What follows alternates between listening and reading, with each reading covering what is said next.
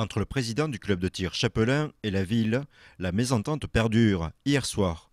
Le président est venu constater les dégâts causés par les moutons testés pour la tonte du tir à 50 mètres. On n'a pas besoin d'aller plus loin. Le fil des caméras est cassé et coupé.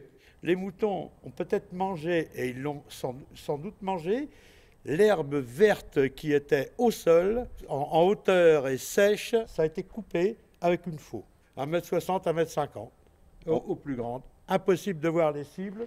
Et les cibles, vous les voyez. D'après le président du club, cette situation a duré deux mois, empêchant l'entraînement de sportifs de haut niveau. J'ai deux tireurs qui sont euh, de niveau national dans le top 5.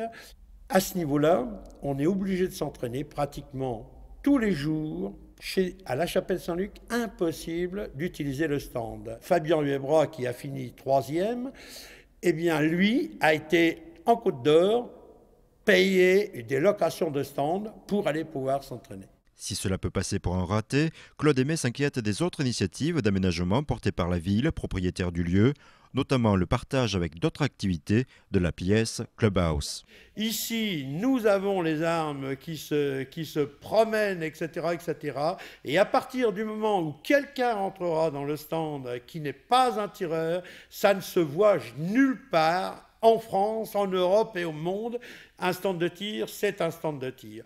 Le président du club craint de perdre l'agrément de tir. À la mairie chapelaine, le maire adjoint reconnaît l'existence de divergences de points de vue pour lui, les moutons ont été utilisés en attendant mieux afin de répondre à un problème de tonte qui perdure lié à une tondeuse automatique. On a une tondeuse électrique qui est depuis l'origine en fonctionnement du stand de tir euh, depuis 2002 euh, et qu'elle est régulièrement euh, déconnectée parce que malheureusement cette tondeuse fait des bips réguliers et qui euh, gênent la concentration des tireurs. Or seule la société qui la maîtrise peut reprogrammer et c'est un coût à chaque fois. Euh, c'est un problème qui est récurrent. On a essayé de le solutionner par l'achat d'un géotextile. Le coût de ce sol artificiel avoisine les 15 000 euros.